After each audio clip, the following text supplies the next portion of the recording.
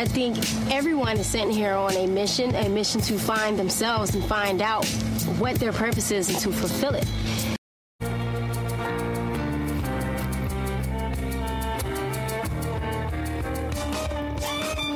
Many niggas acting like they fool Jesus. Then they throw up the devil sign, cover the right out so deceiving. I try to tell them, but the demons already defeated them.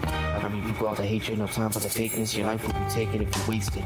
You better praise him, he is our maker. Jesus Christ, our savior.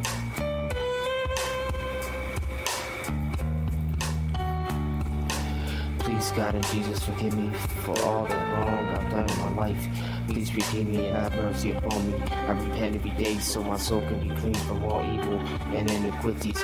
Many acting shifty, they don't like hearing the name Jesus Christ up in their ears. But you they shall fear, for the time of the Lord is near.